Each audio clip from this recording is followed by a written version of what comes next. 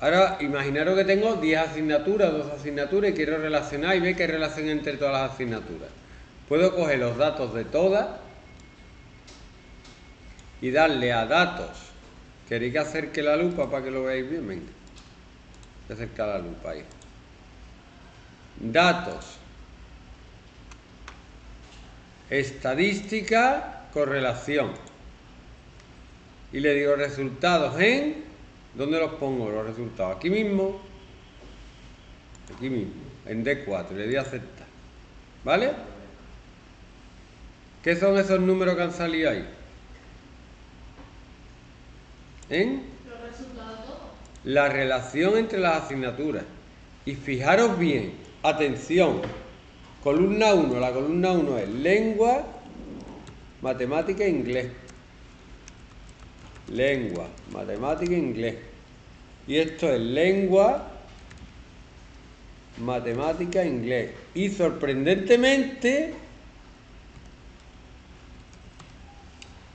fijaros que no hay, entre lengua y mate hay relación, pero entre lengua e inglés no hay relación, entre matemática e inglés no hay relación. ¿Qué, qué, qué quiere decir eso?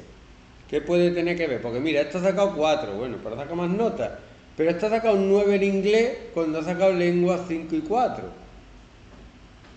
Y ha bajado, tiene 8 y tiene 5. Este tiene 9 y tiene 4. Este sí está bien. ¿Qué puede pasar? ¿Por qué hay tan poca relación? ¿Creéis?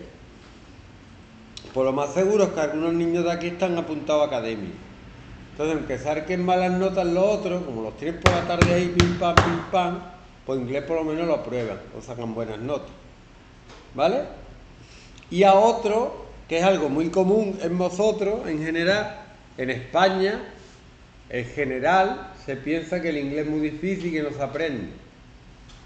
Y por eso hay gente que tiene buenas notas, pero el inglés, la gente le dice que el inglés es muy difícil, por eso suspende. Digo, tú eres tonto. Si yo ponte a estudiar y apruebe, y a prueba lengua, y a prueba matemática, prueba inglés. Pues no. Hay gente que les dice que no. Van a poder, por eso no pueden. Pues mira qué análisis más bonito hecho en un momento. Venga, lo repito para que